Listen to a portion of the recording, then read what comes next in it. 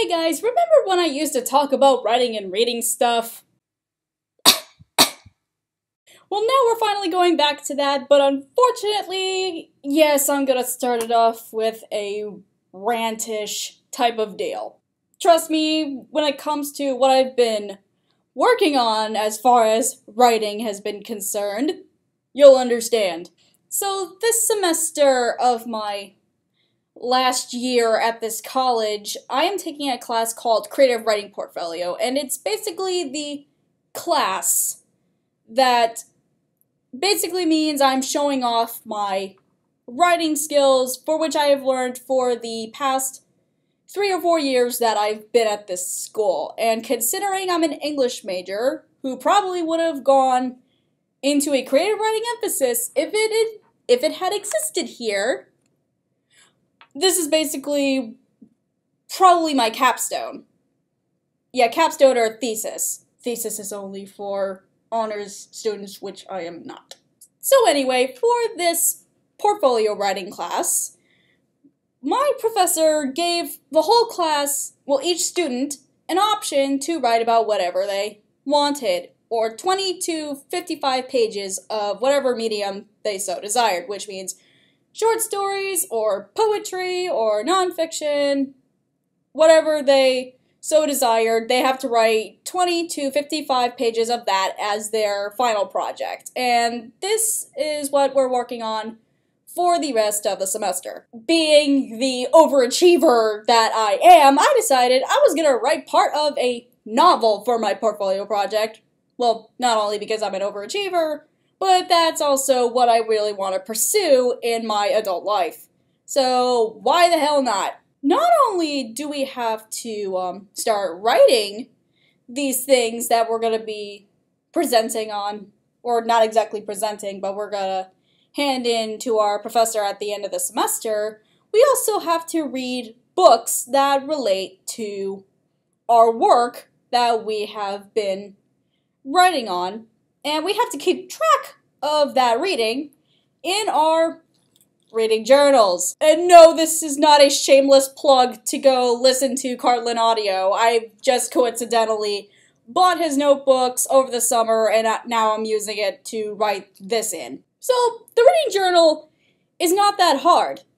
Trust me, because I'm the type of person who, if I would read for a career, I would have taken that job in a heartbeat. Because I do more reading than most college students nowadays. But with the um, reading that I have been doing, I have to read books that would either relate to what genre I am writing, which is a science fiction fantasy, or I have to read books about characters that would relate to my characters. So, for the most part of the reading that I have been doing, I've been trying to find books that have strong female leads and strong male leads because my main characters are both male and female, or vice versa. And the best way that I could find that is not only read through science fiction slash fantasy books, but it's also read young adult fiction because my characters are under the age of 18, but anything from teenager to college student is considered young adult fiction, so I really should not be contradicting myself here.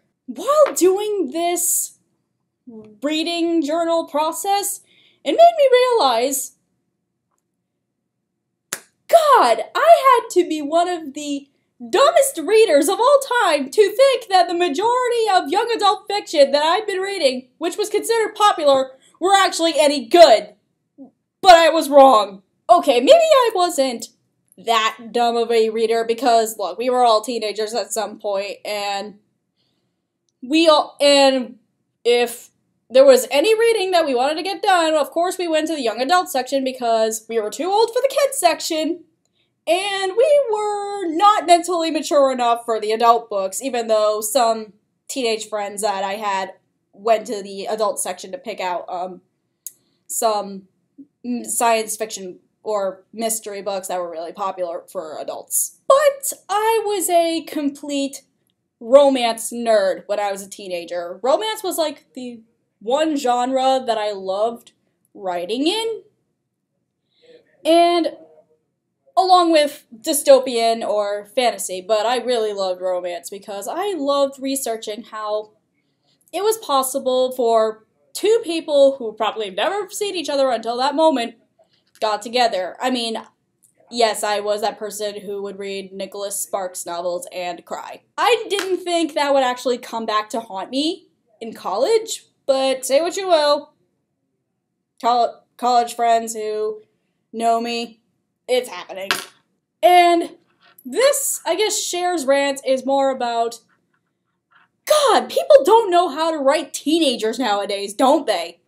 They probably haven't done it in the past and they still don't now. For example, one of the books I had to read for the reading journal here was a young adult novel that came out about a year or two ago called What to Say Next.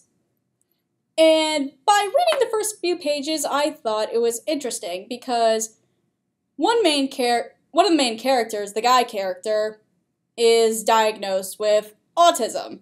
And I'm like, okay, this is interesting. We don't meet a lot of teen characters who go through the struggles with autism and how society treats them. So I thought, why not for one thing? And then the female character is a popular girl whose father had passed away in a car crash, so she's trying to adjust while her friends technically don't understand what's happening. And I thought, this sounds like a stereotypical, like, young adult novel plot for this character, but I thought, hey, why not?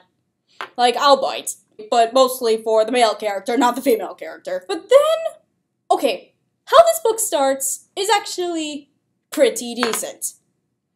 It's like, the two meet because it starts at after this girl's father died, and she's trying to avoid everybody else. So she decides that she's going to sit at the same lunch table as the guy who has autism, who's basically the very social outcast of this school. Then it also starts with them, or the guy actually trying to make awkward conversation. Because, like, from what I've read, this is the guy who has a level of autism who's that's not so high functioning, but he is super intelligent. But it's just when he's stuck in social situations, it's not as um what's the word that I could say for this that won't offend every single goddamn person in the universe? Oh yeah, it's not as street smart that it is book smart. And I am saying that, trying to say that in the nicest way possible, honestly. So he starts off the conversation with, hey, your I heard your father passed away. And of course, the girl does not expect him to say that, but her response is, yeah, he did.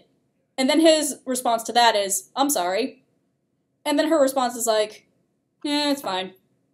Like how we always like try to um close close ourselves off when we really don't feel like talking. But it's funny how a little conversation like that could get someone who really doesn't want to um, face their own social clique to actually confide in someone who's not in their social clique, like how the girl is confiding in the guy when it comes to her present situation.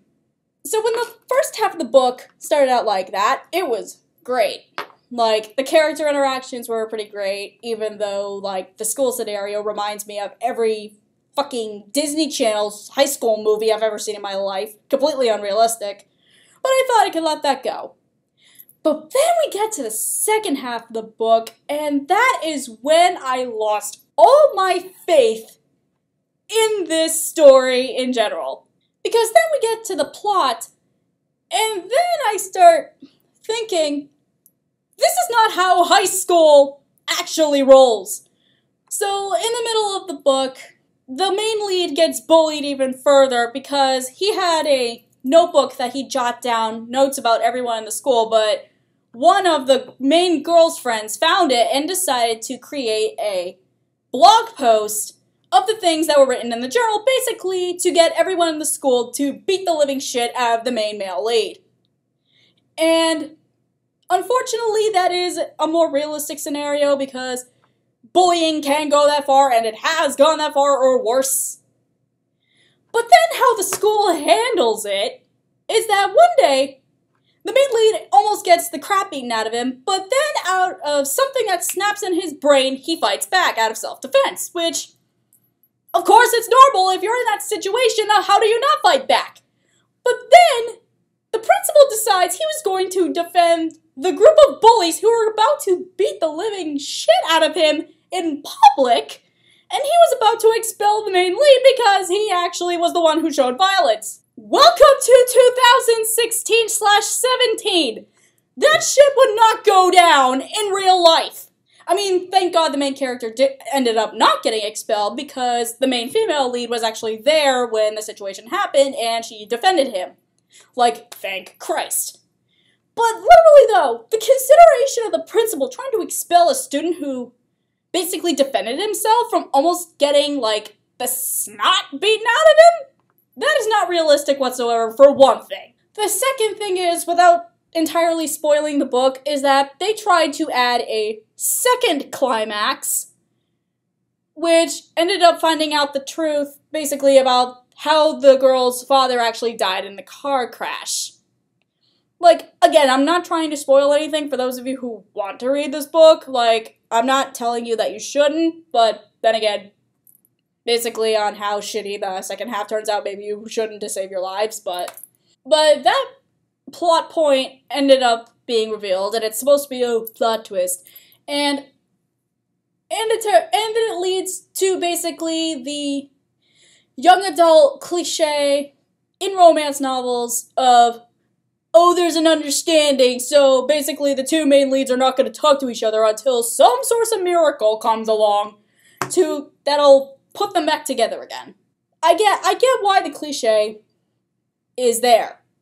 Because it's supposed to be one of those like obstacles that would get the couple to get back together. But why so late in the book and after another giant plot point that could have been what broken the two up in the first place because it was kind of the girl's fault that this guy was getting his body beaten into shreds in the first place?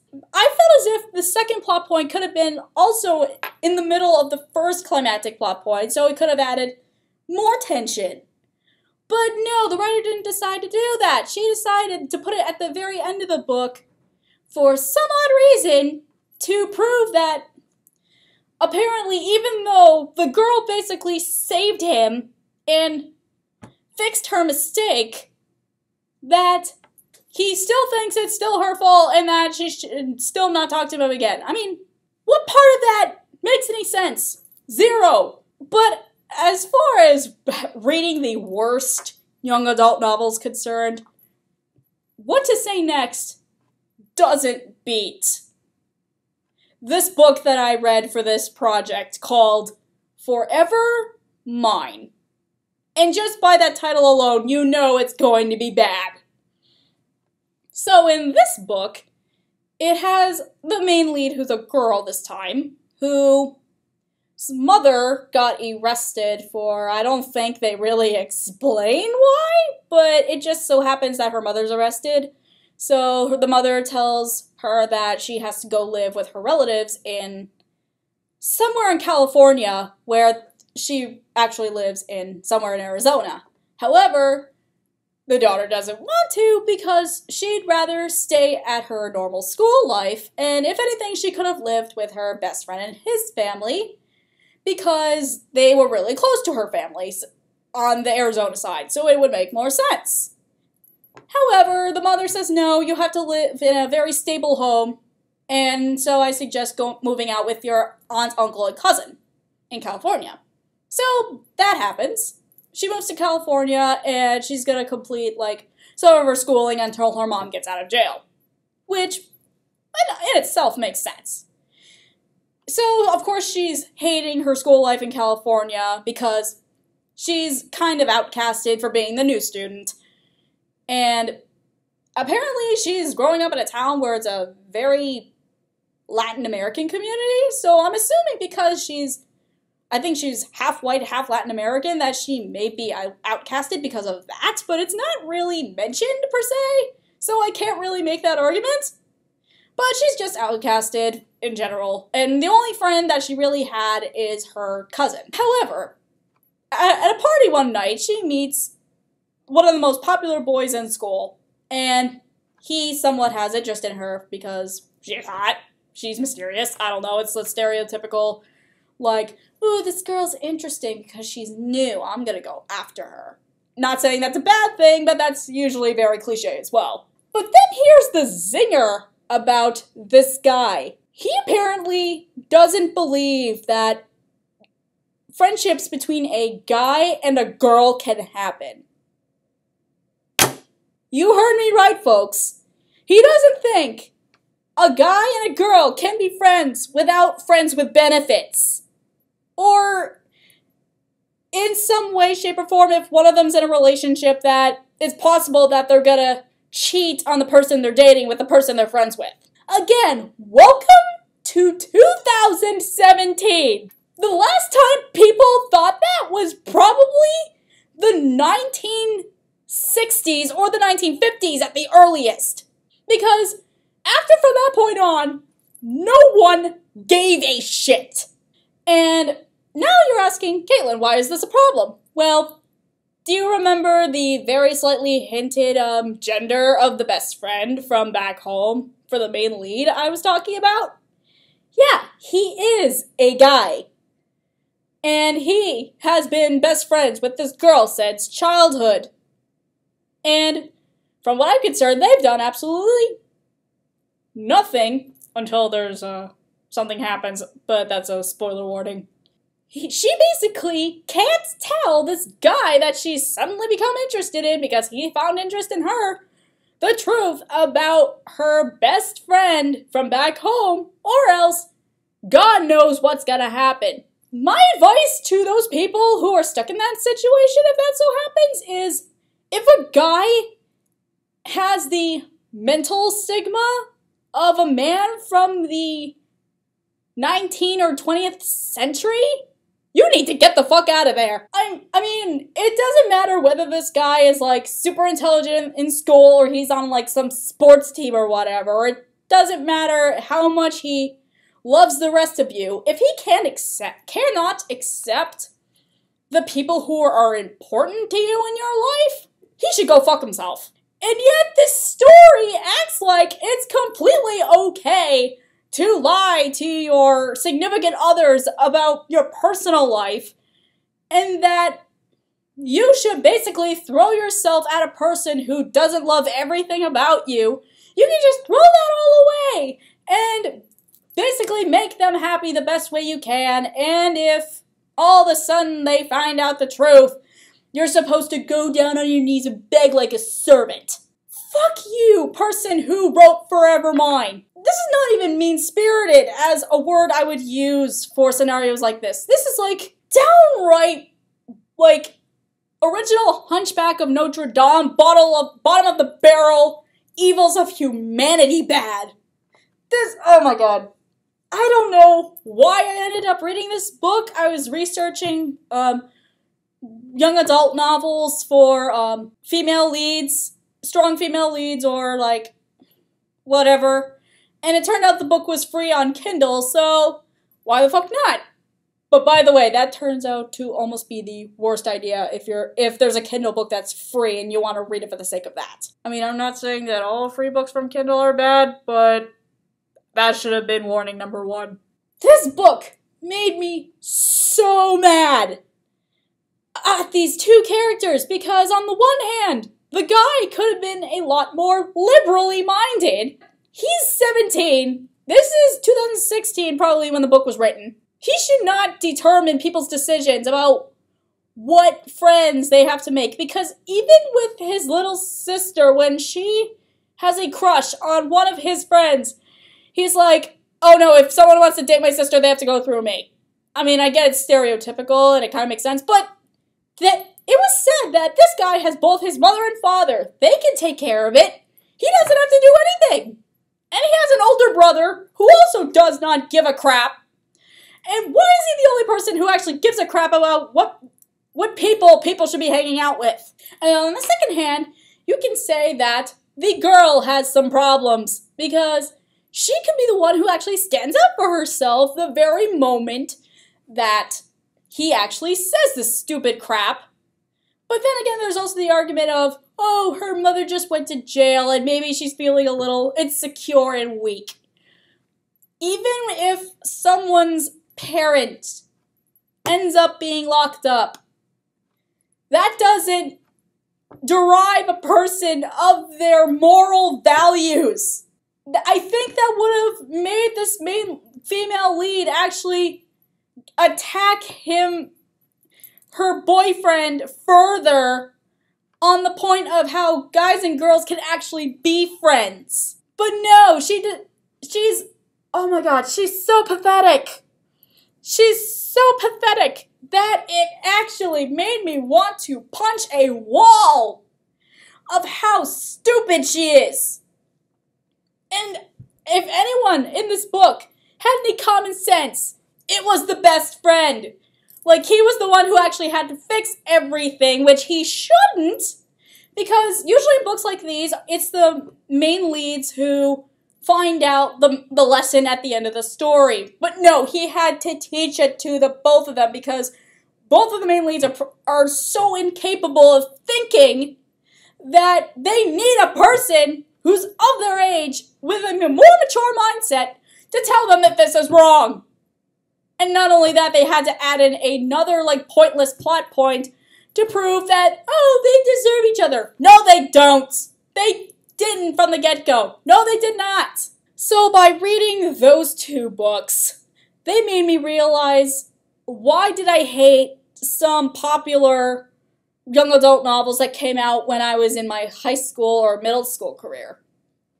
And the three series that I can come up are Twilight, Hunger Games, and Divergent. With Twilight, everyone knows that Twilight sucks, is because I feel so bad for Edward because he has to suffer with a boring female lead such as Bella. Like, I think the movie ruined it for me when I saw it for my birthday. It was not my decision, it was my mother's. Kristen Stewart had no personality in that movie. Like, absolutely none. Every line delivered was like she did not want to fucking be there. Even in the book, from what my sister told me, because I avoided the book for the sake of my own for the sake of my own sanity.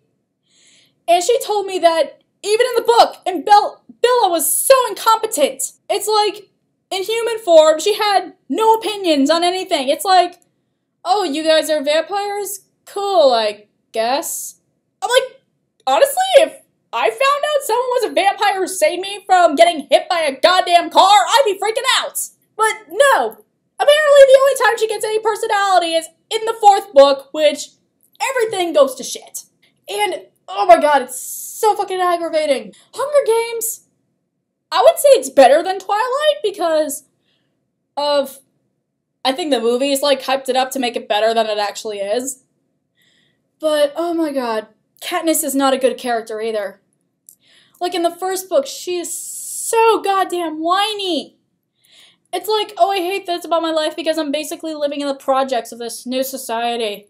And then, of course, the only time that that ever so changes is when she sacrifices herself to save her sister in the Hunger Games, which basically people are fighting to the goddamn death in order to prove which part of the project is superior to one another. But that's not even like the worst part of the Hunger Games, though, and I'm about to spoil a major plot hole. But everyone has probably read the Hunger Games at this point, they know what happens, is that the whole as as soon as the series moves on, the whole point of the first book became super pointless. Because in the first book, Katniss joins the Hunger Games to prevent her little sister from going because her little sister happened to be the youngest age that people are to join the raffle or are put into the raffle to the Hunger Games in the first place, and it was just a stroke of bad luck that her name was plucked. So, of course, Katniss throws herself in because her sister's, she believes her sister's too young. She's gonna die young. She's afraid of that, so she throws herself in to basically save her sister's life, which I give props for. if it were my little sister, I'd be doing the same thing. But then the third book is published. And we come to find out that during the war in between the projects and the government, the sister who she'd been trying to protect this entire goddamn time dies a harsh death. Are you goddamn kidding me? Are you kidding me? Oh my god, where do I start with that? There are so many things wrong that it should be common sense of if this happened in the third book, why did the whole series even exist to begin with? And I know like the ending of the third book is supposed to be like it was supposed to be so like sombersome even even though like all these good things are happening now like it's supposed to be still sad because Katniss is standing over her sister's grave. But that should not be the ending either. I don't know what to say really because it's things like these these writing choices that anger me so goddamn much because it's like if we're not going to get from point A to point B why does the story even exist? Like what's the whole entire message? What's the point? And I think the message of the Hunger Games was supposed to be like like um this sudden form of government was going to fail because of such and such. But oh my god. The whole like sister thing. The whole sister thing just totally convinced me not to like the series whatsoever.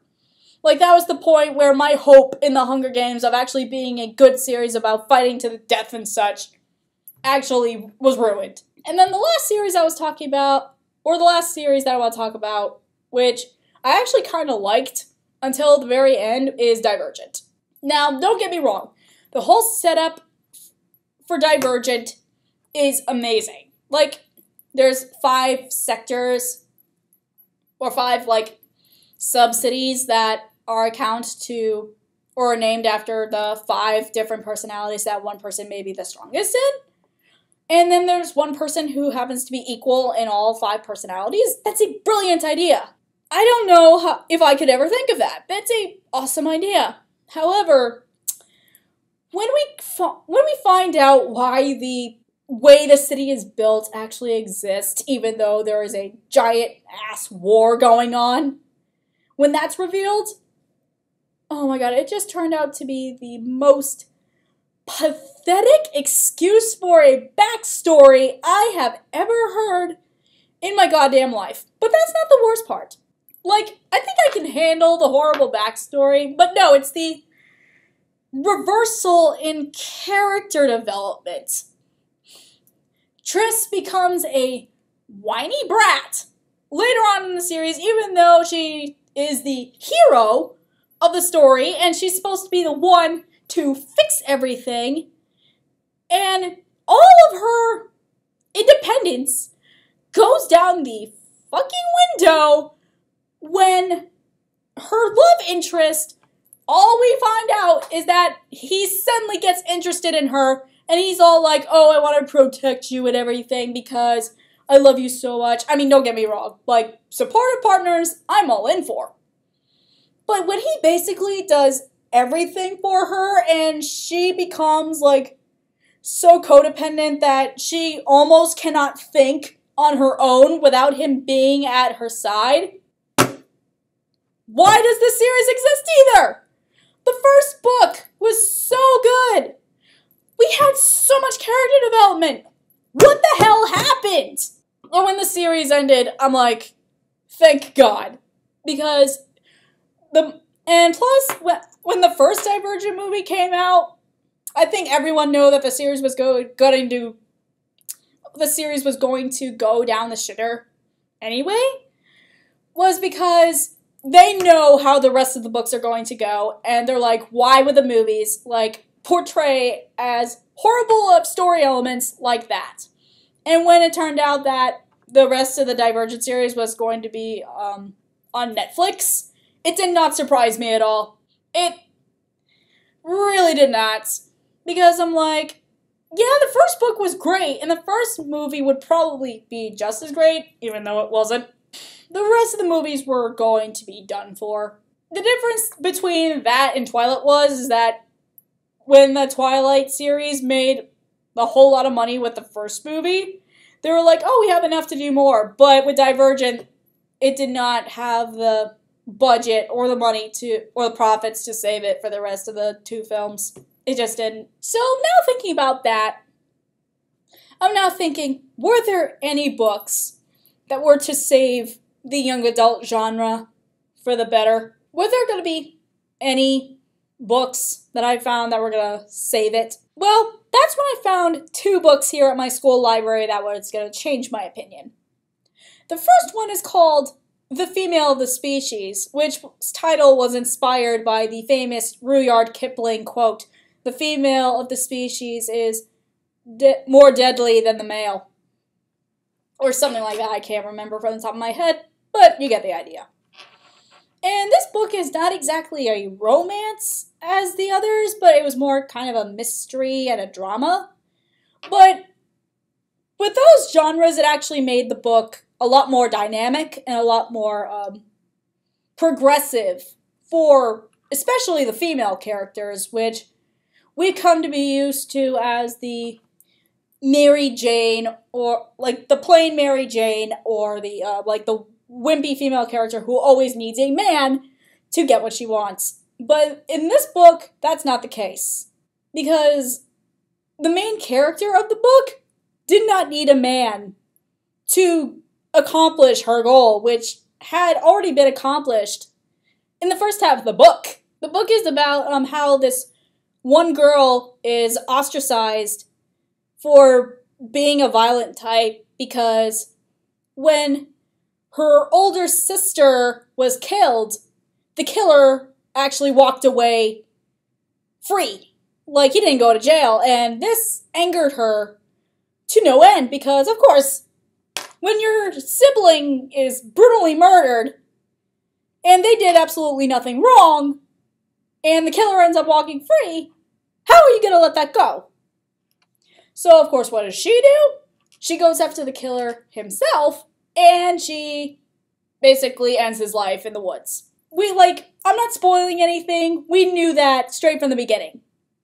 And the rest of the story is basically about this girl trying to live the rest of her life with this weight on her shoulders, but then she uses her violent power, strength, for the better good rather than being like Jekyll and Mr. Hyde. Like I expected this to be a Jekyll and Mr. Hyde story, but it no it didn't. It didn't end like that at all. Because eventually she becomes friends with the preacher's kid at the school, which if you know the, the preacher's kid stereotype, they could either be pure as shit or rebellious as fuck. And of course, it's the rebellious as fuck type of deal. But of course, she teaches her that being rebellious from like your family's um position in the society is fine.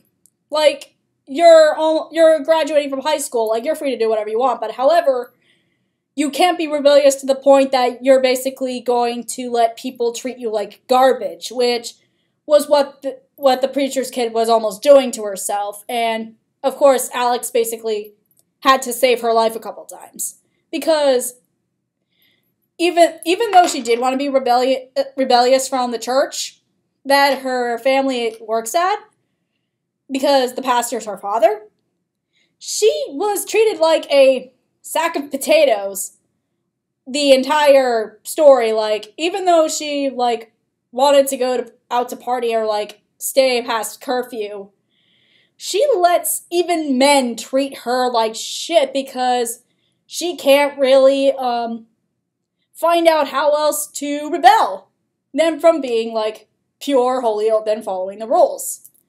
But then alex is like you don't have to follow all the rules but you gotta treat yourself better than that, girl. And that's what I love about the female of the species. It finally has strong female characters who can actually teach lessons rather than being taught the lesson. And that's really important, especially if we're gonna treat females as equally as males in modern society. Like in the age we're in right now, that's seriously important. And then the second book that I read was called Holding Up the Universe, and this is actually a romance drama, but this actually finally does it right. For one thing, both of the main characters are not popular whatsoever. Even though the guy might consider himself be, but he doesn't consider himself that at all because of a disability that he got from a falling off the roof accident. So, I mean, but we'll get to him when we get to that. So we have the main lead who main lead girl who is very socially outcasted because she's overweight and there was a news story where she was so fat at one point that she couldn't even get out of her house, which holy shit, I cannot imagine being in that position right about now. It's actually really terrifying. I'd be terrified along with her. However, instead of like falling back on her past, she tries to do better for herself. Like she wants to be on the drill team. Like she really wants to be a person who will inspire other people to basically be themselves, even though like she's being bullied by almost every single goddamn person in the school. And even though this bullying situation was almost like what I mentioned in What to Say Next, at least this school is a lot more realistic on how they de- deal with those situations. And I will get to that when I get to that. Then we set, then we see the male main lead, who's outcast. Not he's not really outcasted. If anything, he's actually like pretty popular. But what makes him so different is that he is a minority of race, being African American. And like I said, he's trying to hide this disability that he got from a accident when he was younger. Oh my god, I cannot pronounce the entire full name, but it's the condition where um, you can't recognize faces. Like either like you can't remember someone by their own face or you think every face looks the same to you, that kind of thing. And I wish I could pronounce it pronounce the full title for you, but I just can't, and I don't have the actual copy of the book with me. I actually just returned it to the library a couple days ago. But yeah, you have both characters who have a flaw that almost defines them by society, but they're trying to divert themselves away from that. So how they meet is where it gets kind of stupid, but at the same time, it teaches the both of them lessons that they're going to be following out through the rest of the book. There was this game that their school liked to play called Fat Girl Rodeo, and yeah, I hope you know where this is going. So apparently, his the main guy lead's friends try to convince him, "Oh, come on, play. Oh, go after the main female lead because she's she used to be the fattest teen in America." And that's the actual title that they give her in the book. It's even in the summary. So, because for some odd reason he doesn't want to lose and he's trying to keep up his reputation to divert from his mental condition, he was like, okay, and he goes after her. And however, instead of the girls trying to run away as what the expected result would be, this girl beats the living shit out of him for touching her and they both get sent to the principal's office. One for sexual assault and two for self-defense assault. Because this girl said, and she says herself, she didn't feel like sexually violated because he didn't touch her in the usual uh, private parts. I hope that did not get me um red flags for saying that. Even though, even though um she wasn't touched that way, according to her. She said she still felt violated enough to the point where he knew what his intentions probably were, and he, she was going to teach him a lesson, which, kudos to you! Kudos! And and in the guy's case, this was like, yeah, what he knew what he did was shitty. And throughout the whole book, he was trying to make up to her for that because he knew he did something shitty because he wanted to hide something within himself. Like he wanted to prove to his friends that he had nothing bad to hide. And this is where we get two finally dynamic characters that actually have some sort of flaw and they know what they're doing is bad and they're not stubborn about it. But they're learning through each other that yes, they can see past that And and if they can get over those obstacles, they can actually find a way to either be friends or even be in a closer relationship. And no, I am not condoning that touching a girl in any way, shape, or form without her permission gets you like any romantic satisfaction. I am not saying that. And he even said himself, he keeps apologizing to her, and he even apologizes to her father about what he did because he knew what he did was stupid. He doesn't want to do it again. And he said the last thing he wanted to do was to hurt anybody. And I mean, I don't know how the dad actually manages to, to say, okay, you can go on a date with my daughter, but if that didn't happen, we would not get a story, would we? But with those two books, we finally get to see some dynamic characters and young adults novels, which are finally not the stereotypical, like, cliche character traits. Because I feel like in a young adult, we don't really get much character development. We just get.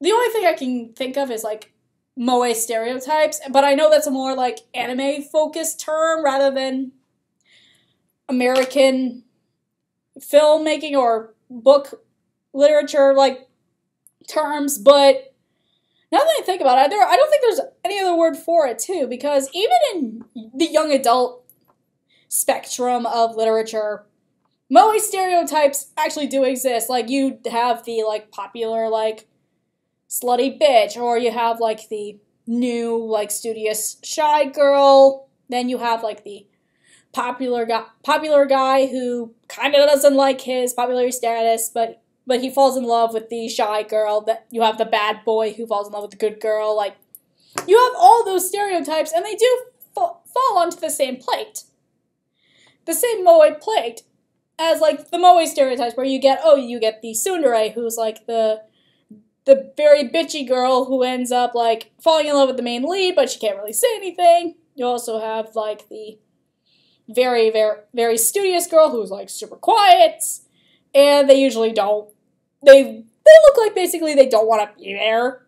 Like they have the resting bitch face all the time. They just don't want to be there. Then you have the um very um kind of shy but also very caring like girl character, and then then you have the psycho yandere who will literally kill for their lover. Even though those are like two different mediums, the stereotypes are almost the same, besides the um, yandere thing. Like, yonder, I don't think yanderes exist that much in American literature. But it's these stereotypes that unfortunately keep the genre going because they're the most recognizable in, for some reason, teenager personality. But even though humans in general our personalities are not focused on one trait, or else we'd be super boring. And that's what happens if you give characters a one trait that they hopefully can remember, besides giving like different names to different characters, because then that makes their story super boring, it makes the character super boring, and it makes them look pathetic. To come back full circle for what I hope I would be writing for my book, is that my characters will be dynamic enough that they can actually help teach lessons to people rather than having them being taught lessons and that and have what their failures are what they're supposed to teach the readers. Because, I mean, I know that's what has been done in very old literature, and I kind of get why writers did that in the past. Because they say, oh, if you end up on the road you're doing, you're going to end up like this character. You're probably going to end up dead. Which, of course, if you read like the Brothers Grimm fairy tales, that are very notorious for doing that. But the problem is we're in a new age. We're in a new era where characters are written to relate to the readers. It's like, even though the characters are not exactly us in person, but we can connect with them enough that we could probably fit in their bodies as we're reading the book. And that's the more modern mentality when it comes to writing the novel. That's what I'm hoping I can do because I don't want to end up being the same old writer who can't write teenagers properly. I mean, we were all teenagers once. How can we forget what we were like at one point? It's it's stupid. Like, but if you don't know, like talk to a teenager and talk about like what they experience in their everyday lives. Maybe they won't exactly like come forth to you, but that's also another like dynamic personality trait. Probably is because maybe they do have things to hide because they're that insecure. And what I'm hoping for the future of young adult literature is that we can actually write books that don't make teenagers hate reading because they need people and characters who can understand what they're going through. And they don't want characters that go from point A to point B just because of some like miraculous coincidence. Like they need more real life scenarios. And that's what I hope I can get out of this. I guess that's it for my rant for the day and hopefully you guys can take something out from this little like discussion. Like if there are points that you agree with me on or don't agree with me on, like feel free to share in the comments section. Like I love to have this conversation go further. I'm Cait Sharon, it's been real. Ciao.